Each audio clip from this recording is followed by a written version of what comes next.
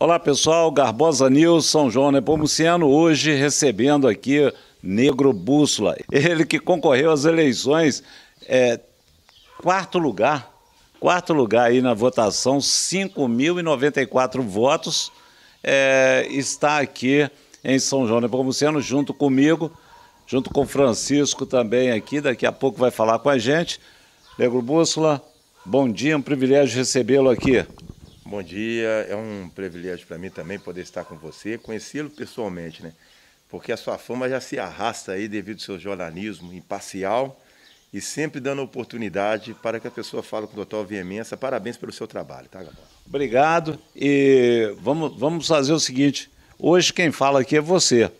Então, vou te dar o um espaço aí para você falar sobre os 5.085 votos que, que você teve falar para o seu eleitor e também trazer aí as suas novas perspectivas dentro da política e dentro da sua luta é, que você trava aí com a questão das minorias, do racismo e tudo mais. Então agora é com você, viu? Ok. Bom, prazer a todos vocês aí, atenção toda focada e voltada a esse público que nos assiste.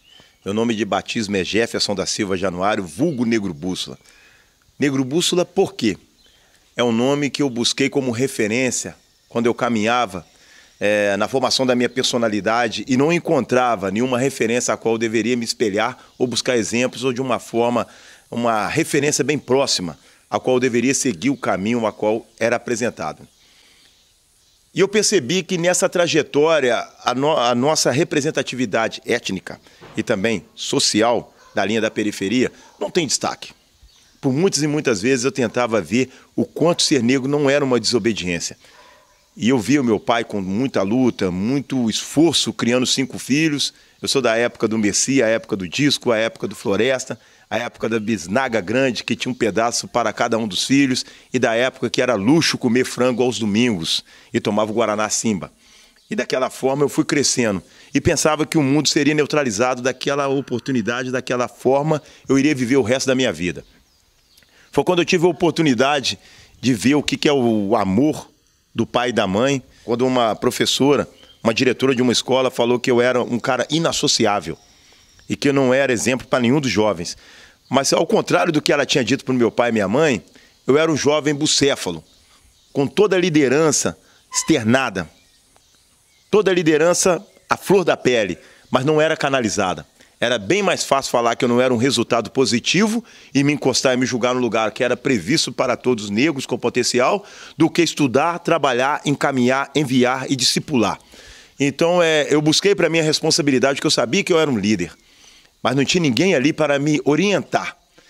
Como eu não tinha uma referência, mais tarde eu me tornei o negro bússola, o negro que indica o caminho, que canaliza e mostra para todo esse grande potencial que a juventude tem.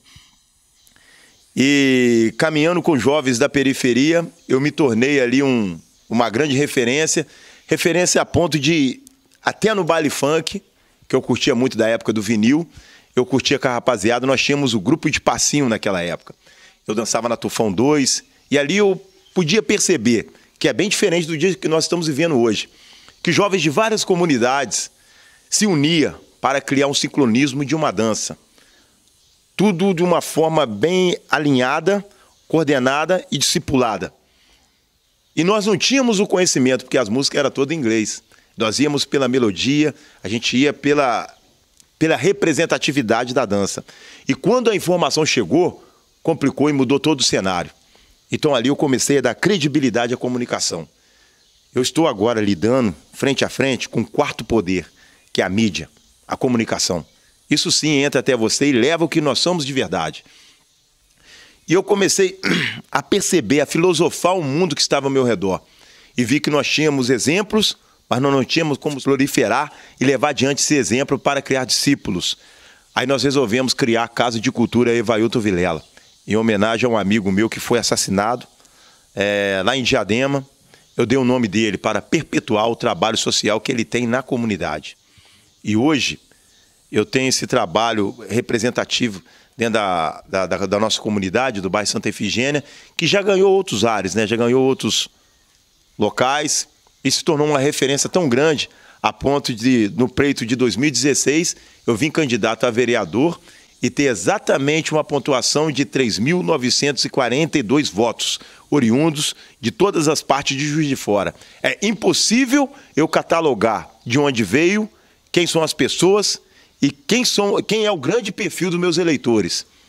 O interessante é saber que a comunidade manifestou, o grande centro manifestou, as áreas de vulnerabilidade social legitimou o teu voto e nós chegamos no ponto de ser um candidato com uma expressão de voto muito grande, com a linguagem única, considerada periférica e com respeito amplo em toda a sociedade. E repetiu novamente em 2020 agora, que nós ficamos quatro anos aguardando esse momento de legitimar a nossa votação. O que aconteceu que foi que o sistema político, que é bruto, a gente tem que se adaptar a ele. Eu defendo a candidatura avulsa. Aquela que você escolhe seu candidato, ele tem a legitimidade de poder vir automaticamente representando sem passar pelo crivo partidário. Eu também defendo isso. Dependo, eu defendo, porque foi o povo que legitimou a minha, a minha candidatura. Eu cresci em plena pandemia, nós tivemos abstenção de 110 mil eleitores que não votaram, e nós tivemos um outro impasse, que foi as mudanças de, de residências de voto, né? O cara era acostumado a votar numa sessão, quando ele chegou lá, a minha sessão não é essa, aí mandou ele para outro lugar. O cara desistiu no meio do caminho. Mas com todos esses impasses que teve na política, nós chegamos a 5.058 votos. O que me tornou, na história de Juiz de Fora, o negro mais bem votado da história de Juiz de Fora. Da minha região, eu bati o próprio recorde que já era meu. O que, que se deve a isso? Trabalho. O único lugar onde sucesso vem antes do trabalho é no dicionário. Muito trabalho. E a política pública, para ter mais eficácia, é necessário consultar o protagonismo. O que é o protagonismo? É a diversidade que envolve toda uma sociedade. Eu nunca pensei em esquerda, em direita, em centro. O meu alvo, a minha plataforma é Juiz de Fora. Então eu sou um cara muito linkado, ligado às necessidades da minha cidade. Eu acho que pensar em partido é um retrocesso, mas é necessário porque o sistema pede isso. Mas é um retrocesso. Eu vejo muito bem da forma igual Juiz de Fora. Nós entramos agora no, no marco. A diversidade elegeu. Nós vimos em Belo Horizonte uma trans ser eleita com 37 mil votos. Nós vimos em Juiz de Fora, pela primeira vez, quatro mulheres ocupar a cadeira do Legislativo.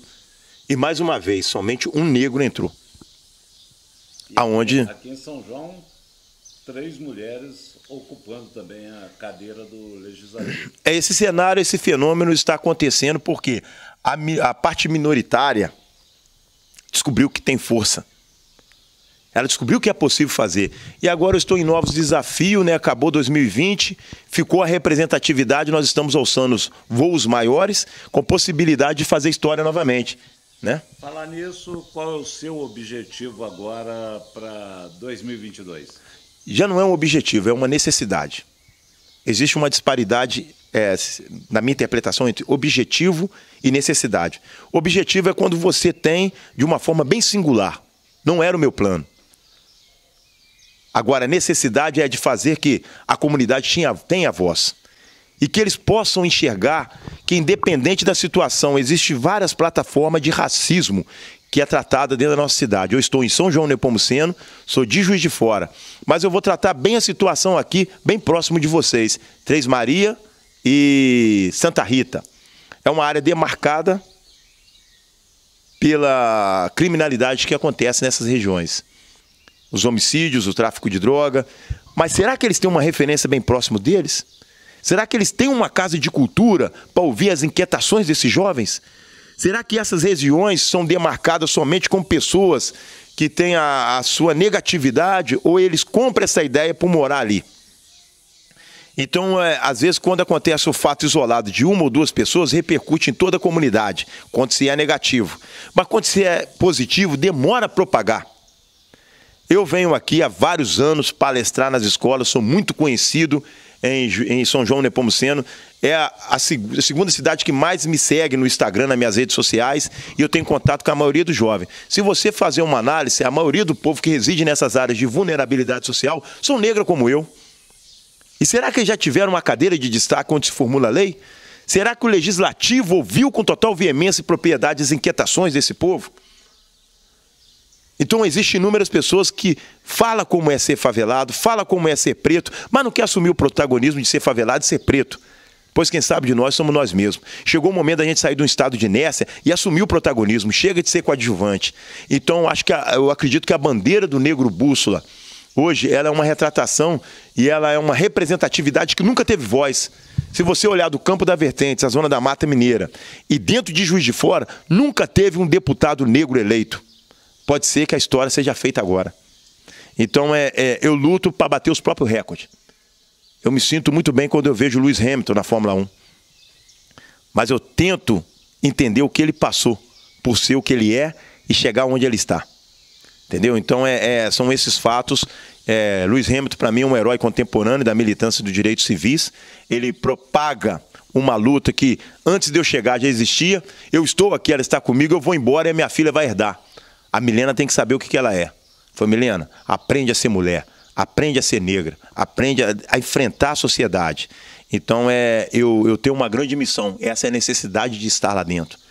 É, a diferença é que eu não planejei ser deputado, mas a necessidade faz com que eu chegue, porque hoje eu sou um negro em evidência. Eu sou um cara em evidência. Isso faz com que eu fale para a juventude e eles consigam medir Olha, tem um cara que chegou aqui através do tráfico, através do roubo, através do erro, mas tem aquele ali que lutou. Tudo na vida é uma questão de escolha, então eles vão escolher qual caminho eles vão seguir. Eu sou uma dessas opções. Negro Bússola, privilégio de conhecer, é, privilégio de estar com você aqui. Espero que possamos estarmos juntos novamente, falando sobre a sua causa, sobre os seus ideais, sobre as suas necessidades.